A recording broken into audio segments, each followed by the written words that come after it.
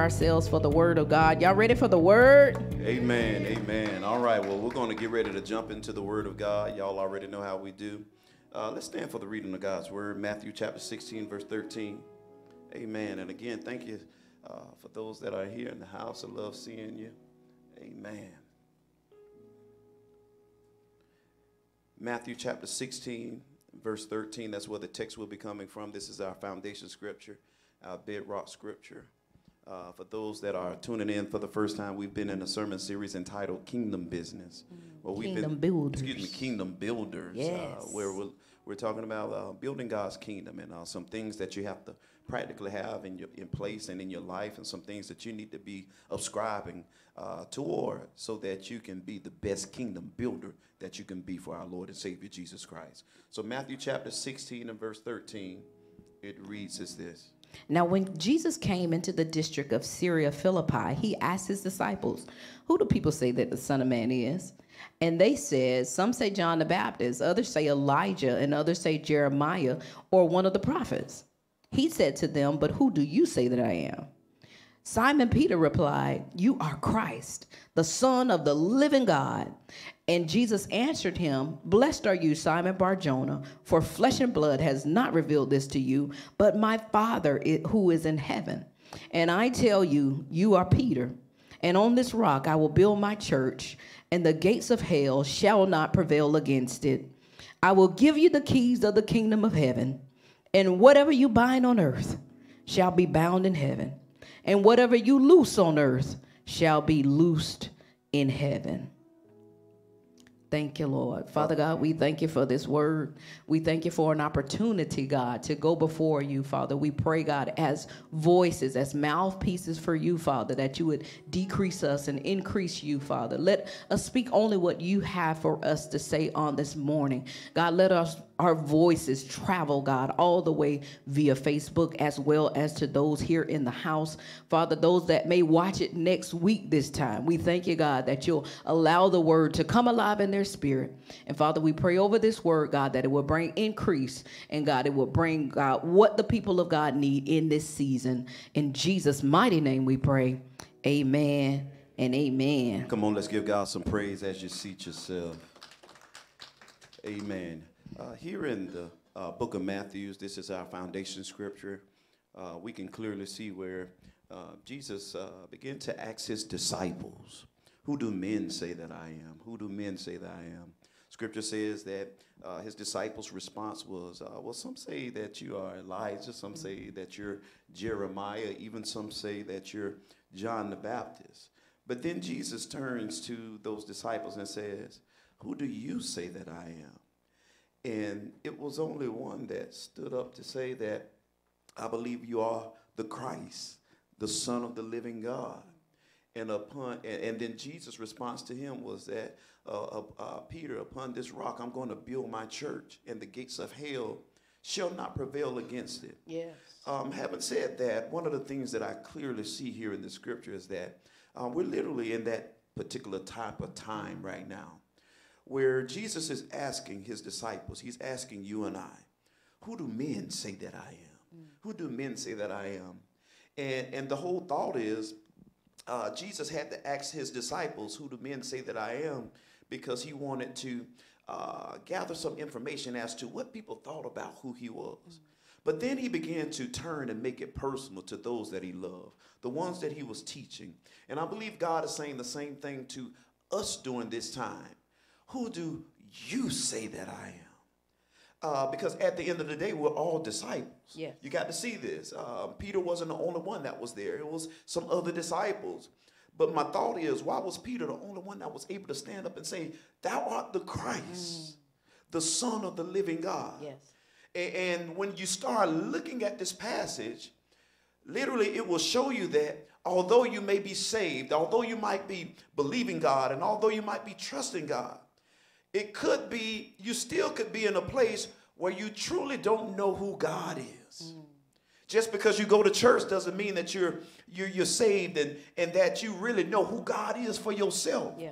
But then this is where Jesus was saying, okay, Peter, because you have this right response upon this rock I'm going to build my church. Yes. In other words, God was saying, because you have this revelation of who I am, I can trust you to carry my church and allow it to be built upon your life. Yeah. And we all got to see it that same way. God has allowed us to walk and carry his church. The church is not a for, not the building, it is not the four walls, but it is the body, it is the people. So although many people may think that they can close the church, they can't close the church because the church will always remain open because it's not a building, it is the body of Christ. Amen.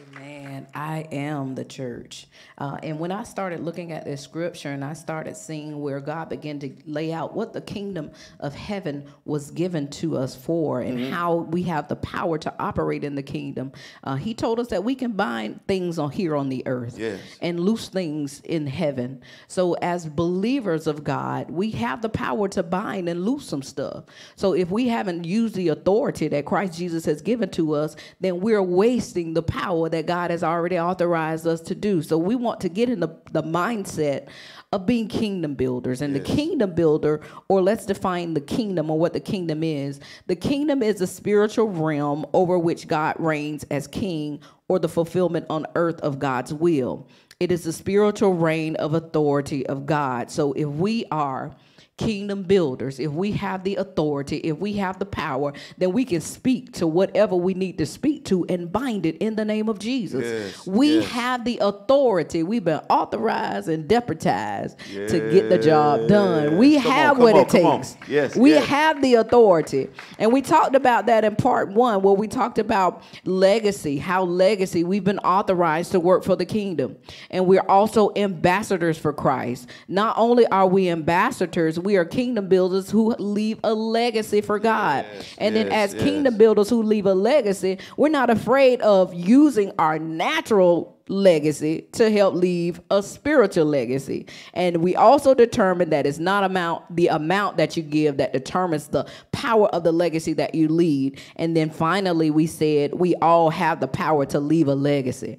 Uh, when we're talking about legacy, we're talking about leaving something, an example, leaving a lifestyle that people can follow. If your grandmother was saved and she taught you how to live for God, she left a legacy. If we are people of God who have a heart for God's house and we say, you know what, I'm going to sow into the kingdom of God so that the years to come, people can gather together, that is leaving a legacy. So all of those things tie in together and what legacy is all about. Amen. In part two, we begin to talk about evangeli- evangelism.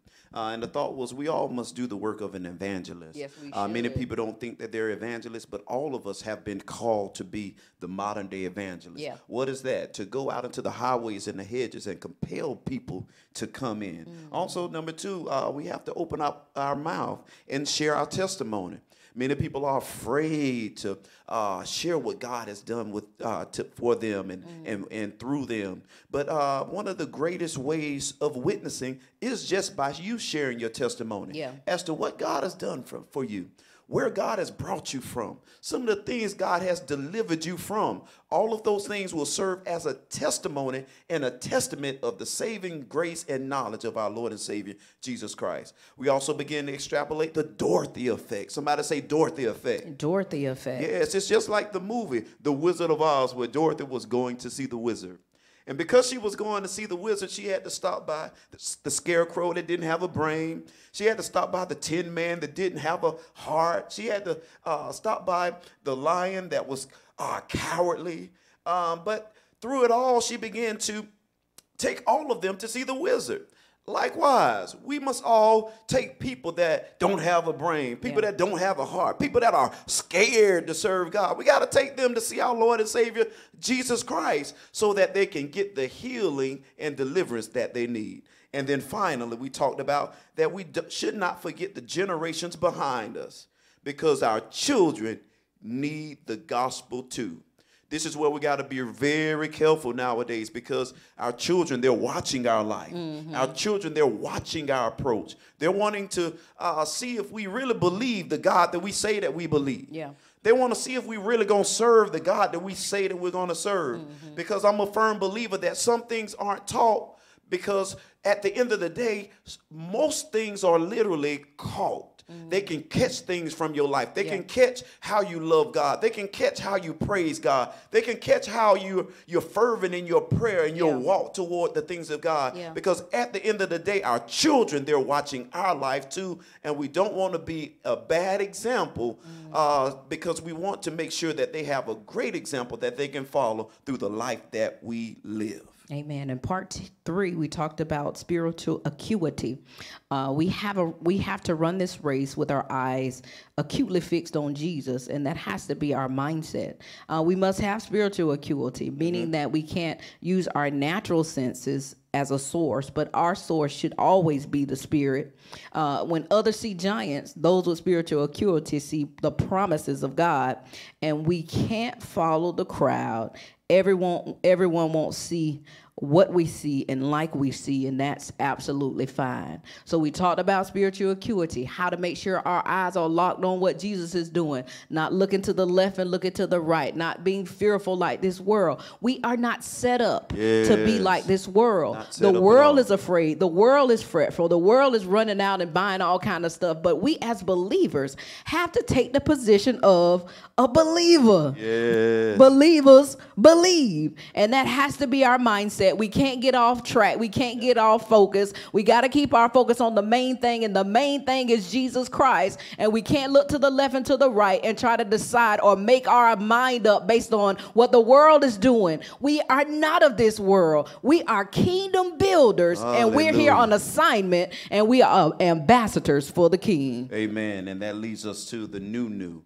the D, which stands for determination. Somebody say determination. determination yes. In order to be that kingdom builder, you have to have determination. So let's define determination. I believe the power to define gives us the ability to fulfill. Determination is firmness of purpose. Mm. It is resoluteness. yes It is a quality that makes you continue trying to do or achieve something that is difficult. The will to not let anything stop you. yes This is something that we all must have as kingdom builders or believers. We have to have determination to where we don't relent because things begin to get hard and difficult. Yeah. Uh, we have to have determination because it is one of those things that will help drive you to the place of total fulfilled purpose that God has associated with your life. Yeah. I, I want to begin to allow you to look at where it says uh, determination is firmness of purpose. We all got to understand that God has called us for a certain purpose. He's called us for a certain work. Uh, and because He has called us to a certain purpose, I'm a firm believer that if you're walking in purpose, you can't die before your time. amen And if you're walking in God's purpose that He have for your life, the purpose that you're walking in will literally serve as protection for your life. yes You got to see this because God knows that all of us we have an appointed time to die. We all have an appointed time. Uh, we all know that because we came into this life, uh, we got to exit out of this life. Yeah. But while we're in this life, we should be walking in purpose. yes But for those that are, are walking in purpose, you don't have to be afraid of what's going on around you Amen. Because you're protected by the purpose that God has associated with your life. Yes. But this is when you got to be determined. Mm. This is when you got to stand assured in what you know God has called you to do. Yeah. Because determination means that I'm going to be firm in what God has purposed for my, my life. And although things may be going on around me, the purpose that I'm in is the bubble that's going to protect me and allow me to allow the will of God to be done in my life. Yes. So, as a believer, this is not the time to be scared. Yes. This is not the time to be backed up and moved by what's going on around you. If you are sure that God loves you, Yeah. that God cares for you, Yeah. and He has a plan associated with your life, you can know that you can be determined in the things of God because you are protected in His purpose that He have called for you to walk in in your life. Amen. Give God some praise for that. We're protected in purpose. And when you know what your purpose is, you're you know you you're not going anywhere until God gets that purpose fulfilled in your life. No matter what evil comes your way, when you're walking in the purpose of God, God is going to protect you to do what He's called you to do. If He's assigned something for your life, and that is assignment doesn't expire till 2075, you're gonna be here Till until 2075. 2075 because God has a purpose designated for your life. Yes. All of us have, have our time that God has an appointment set for us. So we can run this race and we can trust God the entire time because we're going to be protected in the purpose that He has for our lives. So when you're walking in your kingdom assignment and you're walking in the purpose of God, you ought to know that God is going to maintain you and keep you all the way. Amen. Amen. And this should be our mindset when we're going through every test and trial. And that is Philippians 4 and 13. It says, I can do all things All things. through Christ, which strengthens me. Some things, All things. a little bit, just a few things. All things. I can do all things. That means I can go through this time that we're going through right now. People don't know where they're going, left or right. People are buying Lysol like it ain't no tomorrow. they wiping down hands. They walking around scared, fighting in the store, talking about give me six feet. All of this is going on because they don't know that God is able to bring them out. But we as believers, we got to walk in faith. We got to walk in courage. We got to walk by faith and not by sight. We can't Yes, yes, yes, live yes, yes, in the system of this world. Our faith has to be strong. Our faith has to be secured. They have to see a difference. If we're not any different from those on our job who are fretful, and I know some people are losing hours. There are some people who positions may be closed down at the time. There may be some people who are going through and they don't know where their money are go- is going to come from. But can I say that you as a believer, you have a resource and you have a yes, source. Your source is Christ Jesus. He's not going to leave you. He's not going to forsake you. He's going to make sure everything is going to work out for your good. We're sitting and we're thinking, "Oh, I got all this going on," but you got to trust God in all things cuz you can make it out. In all In all things. things. We can't get fretful and say, "Well, I don't have no hours this week, so what I'm going to do next week?" That's when you turn to the Lord and say, "Lord, you already have it written. You know what I need, Heavenly Father. Hallelujah. You're going to make the way. You're going to provide for me. You are Jehovah Jireh, my provider. So I'm going to stand and trust your word for my life.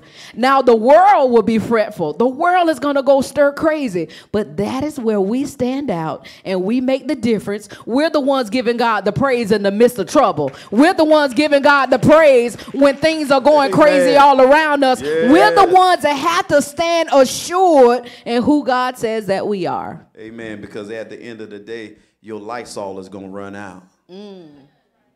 It sure is. But the blood of the. Jesus never loses its power. Come on, come on, come on. We, we, we say these things as believers. We say these things. But now is the time where we really got to believe it. Yes. It's either true or it's not true. Yes, yes. And that's where I am as a believer. I'm like, hold on, Lord. Either your word is true Yes. or it's a lie. But if your word is true, Yes. I ain't got nothing to worry about. Yes. Because a thousand shall fall at your right hand. Hallelujah. 10,000 at the left. Yeah. But none of those things will come nigh my dwelling. Yes. And you got to believe this thing. Because just as you said, you know, we all have an expiration date based on what God says concerning our life. Mm. But everything that we face in between, it's going to expire before we expire. Yes. So you ain't got to be worried about what's coming or what's going or this, that, and the other or where you're going to have a job or what this virus or this disease is. No, because at the end of the day, God still has everything Yes, in he does. control. Yes, he does. and because he has everything in mm. control, you don't have anything to worry about. Somebody say, don't worry Don't worry about a thing. about a thing. Yes, don't worry. because determination, get this, it will keep you going in the troubled time. Yeah. Determination mm-hmm. will keep you going in troubled times. We're in troubled times while many people are bowing out mm. and many people are backing up Yeah. and many people are reserved in their commentary. You got to see mm. this. Because fear, it will cause people's commentary to change. Mm.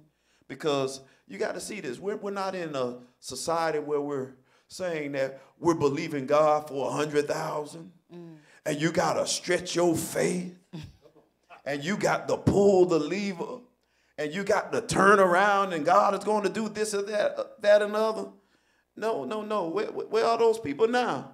Because the same faith that you need to believe God for you for your for your finances, yeah, yeah, is the same faith you're going to need to believe God that He's going to keep you and protect you through the hard and difficult times yes, of life. Yes, yes. So this is not the time to back up. This is the time to continue to build God's kingdom. Yes, yes. Don't y'all know this is the greatest opportunity to tell somebody, hey, although they ain't got no Lysol in the store, I got something that you can spray on your life. I got something that you can put on the doorpost of your house yeah. that will never run out. Yeah. And when the virus comes in, it has to pass over. Yeah. And it's called the blood of Jesus. Yeah. This the time to build God's kingdom. Yes. Because we're standing on faith. We're believing his promise. And it is time for God's glory to be shown on this earth. Yeah. And it's going to happen through the life and the lifestyle that you live as a believer. Amen. We got to speak ourselves into it. Well, let's uh, speak lifers. Yeah, Everybody speak that's speaking life. Them.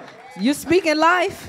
Yeah. Let's speak life over this situation. All those positive confessions. Yes. We Begin need y'all now. Where y'all at? Not just for our money, but also that God continues yeah. to cover our lives. Well, the prophets that can see everything. Yes. I'm not talking about the ones that you can see your address. I'm talking about the ones that can hear and, and declare what thus saith yeah. the Lord. This is that time where literally God is going to separate the sheep from the goat. Yeah. And you're going to begin to see those that are really believers during yeah. this time. Yeah. Those that true that, that clearly have a prophetic voice in this earth. Yes. Because you can't be driven by money during this time. And that's what was happening. So many prophets, they were in it for profit. Mm. But but where where's the voice? Where's the voice? We got to be the ones mm. that cry loud and spare not. Yes. In the wilderness, saying that everything is going to be all right. That all will be well concerning my household. Mm. And we're going to declare the goodness of the Lord yes. in the land of the living, yes. in the midst of what's going on in right now. Midst of going on. And let's talk about uh, 2 Corinthians 4.16, and I know we're kind of pressed for time. Uh, for 2 Corinthians 4.16 says, Therefore we do not lose heart. But though our outer man is decaying, yet our inner man is being renewed day by day. Yes. For momentary light afflictions is producing for us an eternal weight of glory far beyond all comparison. While we look not at the things which are seen, for at the things that which are seen, for the things which are seen are temporal, but the things which are not seen are eternal. So these light afflictions, the scripture says, "Oh, light afflictions, these things produce for us the et- eternal weight of glory. So the light afflictions that we may be facing, the light afflictions that we may be going through, these are just light things. We can trust God and just believe God for what He says that we are and who He says that we are. We got to begin to speak the word of God in season yes. and out of season. Yes. We got to speak the word when it's not popular. When people on the job saying, girl, please, I don't want to hear nothing about that Jesus stuff. I, my check short. Let me tell you about the one who can increase your life, not yes, just your check. The check is just temporary. But I'm talking about an increase of life. I'm talking about going from faith to faith, glory to glory, where you're going from one nation or uh, one kingdom over into the other, and which is the kingdom of God. We can't be caught up in what this world is doing. In this season, I want everybody to understand where we should be positioned, and that is in faith. Everything we say got to be faith. Everywhere we go, we got to speak faith. When we wake up in the morning, we got to say, Father, we thank you, Lord God, that you thank you. I woke up this morning saying, God, I thank you for them scientists coming up with whatever they need to come up. He wired their minds to be able to come up with stuff. He wired me to love the word. He wired them to love all them little numbers and figures to figure out stuff. I said, Well, God, you wired them to be able to figure out diseases and how to combat these things. Yeah. So God continue to work what you're doing in their life and give them wisdom to come up with what they need to come Hallelujah. up with so this thing can pass over. Pass over. We got to walk in faith. Yes. We can't walk in fear, but we have to be praying. We can't be saying what the world is saying. So, oh, everybody on lockdown. We got to do this. We got to do that. Oh, we can't go nowhere. We can't do this. We can't do that. Oh, my throat. Rona, is that you? Every five seconds. But we got to trust God, believe Yes. God, walk by faith, not by what we see. We Come can't on, walk by what this world is doing. We got to walk by faith and faith alone. Amen. James 1 and 12 says this great blessings belong to those who are tempted and remain faithful. Yes. After they have proved their faith, God will give them the reward of eternal life. Yes. God promised this to all people who love him. Yes. So as believers, we have to make sure that we're staying faithful mm. to the things of God. And as long as we're staying faithful to the things of God, God's blessing will belong to us. Yes. God, this thing has not caught God by surprise. What we're going through, it has not caught God by surprise. But what God is looking for or from us is faithfulness. Mm. Faithfulness to the things of God. Yes. Faithfulness to who He is. And as long as we remain faithful, God will continue to be our source. As a matter of fact, the scripture says, faithfulness shall abound in a person's life, and they'll receive the blessing that He has to bestow upon their life. So I just want to encourage you. Right now is not the time to back out. Back up. Today is the time where you need to dig in. Hunker down on the things of God. Hunker down on the promises of God, knowing that there is a blessing in suit for those that will remain faithful. Amen. So we're going to close out. Uh, to be a kingdom builder, we must leave a legacy for others to follow and keep souls in the forefronts of our mind by evangelizing daily. We also must keep our eyes acutely fixed on Jesus and be determined to hear well done by using what we have to serve God and to serve others. Any leaders in the building? Anybody determined to lead? Amen. Come on, let's get on our feet and let's give God some praise. Hallelujah. Come on, put your hands together. Let's bless God a little bit more here in this place. Amen. Father God, we thank you. We thank you you, for your word. Come on, let's stretch up these hands. Let's stretch up our hands. Father God, we thank you for your word. We thank you for an opportunity to come together. We thank you for an opportunity to fellowship and, Yes. and gather as believers, as your ecclesia, the church, the body of Christ. Father God, I thank you, Lord God, that we can share this time one with another, Lord God, loving on each other, Lord God, seeing each other faces, allowing encouragement. ah, to begin to flow in the atmosphere in the name of Jesus. Hallelujah. Those that may be lonely, Lord God, I pray for them right now. Yes. Those that are in despair right now, I pray for them right now. Those that don't know whether they're coming or going, Father God, we pray for them right now. And we decree and declare, Lord God, hallelujah, that you will lead them and protect them and keep your hand upon their life Yes, right God. now in the name Yes, of God. Jesus. And Father God, we thank you for giving us an opportunity to stand strong. We thank you for an opportunity to use wisdom and to remain in faith, Lord God. Yes. Because you said in your word that it is the just that shall live by their faith.